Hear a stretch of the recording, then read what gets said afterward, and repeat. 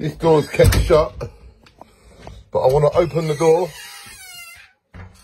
and put a stair gate, but it's not from here. The steps level. So the, the, the, I've got to put one side of the stair gate here and the other here. It's not symmetrical, you see. So I could probably put one side of the stair gate here and have it go to say here, the pink. Then it'd be flush.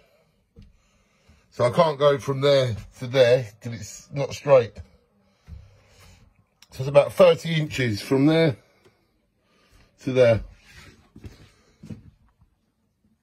I'll put a bit of wood on here, like this.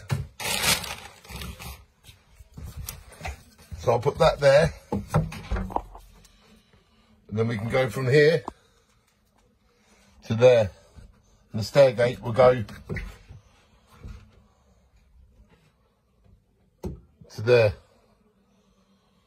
So we're not going to go from here to here. We're going to go from here to here. That is 30 inches. So we need a 30 inch stair gate. Thank you, Donna. I love you all. Have a nice day. 30 inch stair gate.